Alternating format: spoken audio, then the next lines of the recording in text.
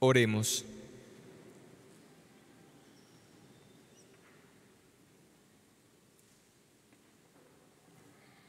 Después de recibir el alimento de la inmortalidad, te pedimos, Señor, que quienes nos gloriamos de obedecer los mandatos de Cristo, Rey del universo, podamos vivir eternamente con Él en el reino del cielo, Él que vive y reina por los siglos de los siglos. Les pido un momento de atención. Se pueden sentar.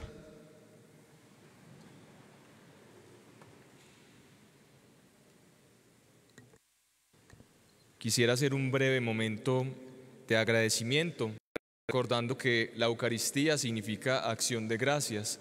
Lo que estamos haciendo en esta celebración es agradecer al Señor, no solo por mi vocación, sino por todo lo que el Señor nos da a cada uno de nosotros.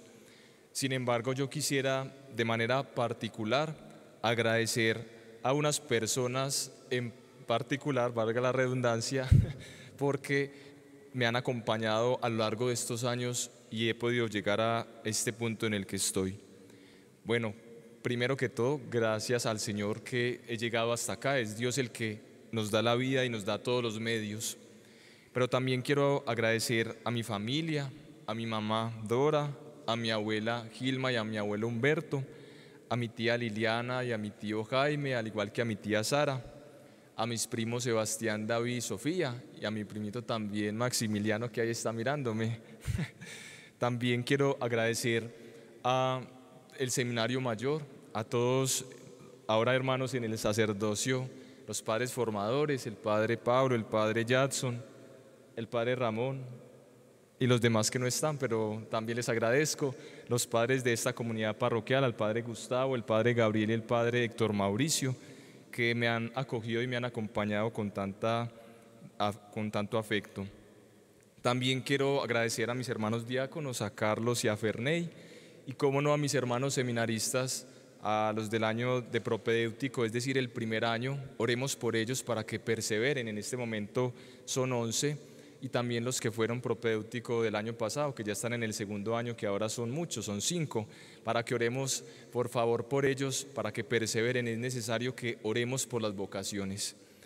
También quisiera agradecer de manera muy general a todas las eh, comunidades parroquiales que me acogieron. Yo creo que aquí casi que hay una delegación de cada parroquia. Las voy a mencionar y si no me quedaría aquí hasta las 10 de la noche y no es la idea entonces a la parroquia de la Milagrosa, que fue la primera parroquia donde trabajé pastoralmente, la parroquia de San Alfonso María de Ligorio en el barrio Tricentenario, la parroquia San Leopoldo Mandic en Cabañas, en Bello, la parroquia de la Consolata en Laureles, San Pío X en Itagüí, el Sagrario en el barrio al lado de la León 13, el barrio Sevilla, por eso digo que Sevilla, en el en la parroquia de San Antonio de Prado, en Prado, en Nuestra Señora de Fátima, en Belén Fátima, también la parroquia de San Isidro Labrador, el Sagrado Corazón y San Ildefonso en Cuba, donde trabajé en el año de pastoral, y también a San José María Escriba de Balaguer, donde estuve unos pocos días el año pasado, pero que también me sentí muy, muy acogido, y este año la parroquia del Rosario de Itagüí, en Itagüí también a los ministerios de música que me acompañaron y que me vieron también crecer, son de Dios, Kids, Iván, pero también Fuego Santo y pues todos los ministerios que le dan vida a estas celebraciones, a mis benefactores, tanto materiales como espirituales, a Mari y a José Alejandro, quienes trajeron las ofrendas con sus hijas, a la Fundación Ambao, que durante todos estos años me, me ayudó tanto, al grupo de oración de, que encabeza de doña Adriana María Gallego Cortés, al grupo de ministras de la comunión, a todos los grupos pastorales de esta parroquia, veo aquí también a los acólitos, a los jóvenes del grupo juvenil y bueno, definitivamente pues a, a todos los que están acá presentes, a los que prepararon la liturgia y han hecho posible esta celebración. Y por último, y no menos importante, quiero dar gracias a todas aquellas personas que desde su oración silenciosa me han acompañado, y sobre todo aquellas de las que están acá, pero que también no están, que en algún momento de sus vidas me enseñaron algo. Yo lo decía ayer en mi casa y es que uno de todos ustedes aprende. Yo en vano no he llegado acá. Quienes me conocieron saben que fui muy tímido, que hablaba más una pared que yo, pero el Señor va cambiando la forma de ser de uno con la ayuda de ustedes que nos van enseñando, que nos van orientando y que cada uno de ustedes va haciendo un aporte muy importante y significativo para este proceso. Por último, yo les pido que oren por mí, así como yo oro por ustedes en esta nueva misión que el Señor me ha encomendado. Si de pronto alguno no lo mencioné, por favor no se sienta mal, porque es bien difícil acoger pues como a todos y, y mencionarlos a todos, pero realmente en mi corazón oro por ustedes. Dios les pague.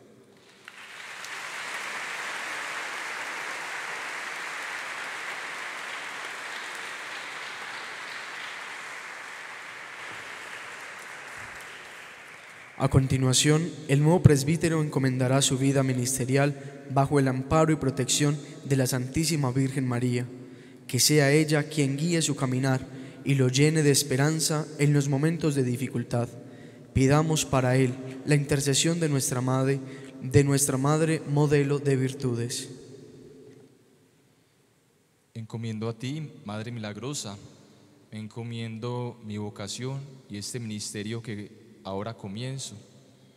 Te encomiendo mi vida, toda mi forma de ser, todo lo que tú has hecho conmigo, para que seas tú quien me acompañe, me oriente, me ilumine y me guíe en este nuevo caminar. Unámonos todos a la oración de la Madre Milagrosa. Vengo ante ti, oh Virgen Inmaculada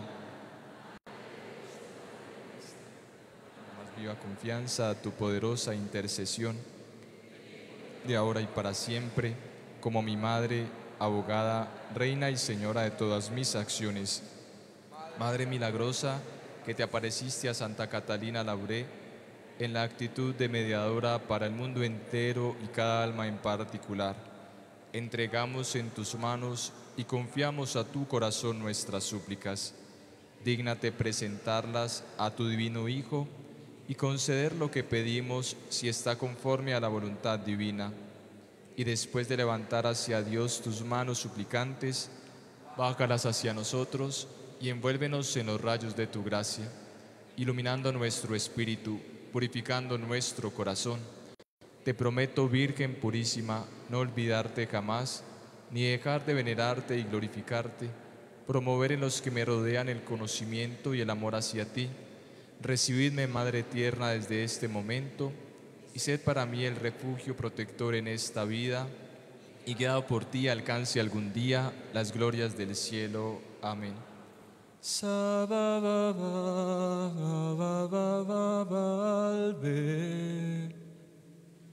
Dios te salve, Reina y Madre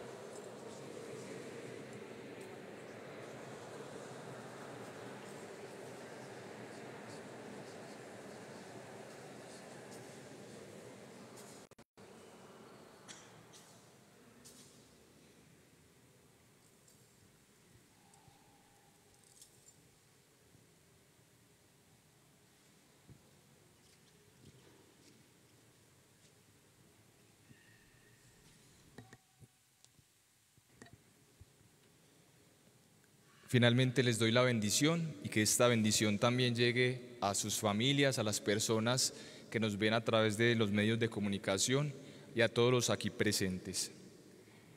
Inclínense para recibir la bendición. El Señor esté con ustedes.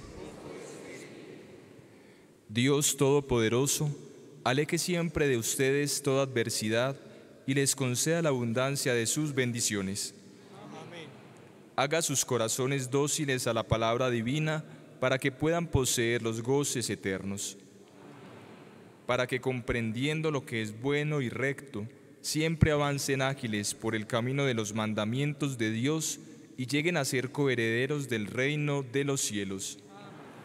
Y la bendición de Dios Todopoderoso, Padre, Hijo y Espíritu Santo, descienda sobre ustedes y los acompañe siempre. En la compañía de Jesús y de María pueden ir en paz. Muchas gracias a todos.